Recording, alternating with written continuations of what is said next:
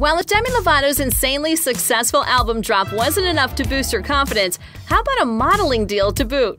The singer, host, judge, actress, the Jane of all trades can now add professional model to her resume because she signed on with Wilhelmina Modeling Agency. Demi reportedly made a statement saying, I'm thrilled to sign my first major modeling contract with Wilhelmina. I'm very excited to see where our work together will go creatively as I enter the next phase of my career and continue to develop as an artist. Um, just a reminder Demi is 23 years old. 23. She's done like four lifetimes worth of work already, but the deals are going to keep rolling in from all directions. Also, her boyfriend and, let's face it, probable future hubby is named Wilmer. Wilmer, Wilhelmina, sounds like when there's a will, there's a way, and it's found Demi Lovato. Only high notes for Lovato at this point.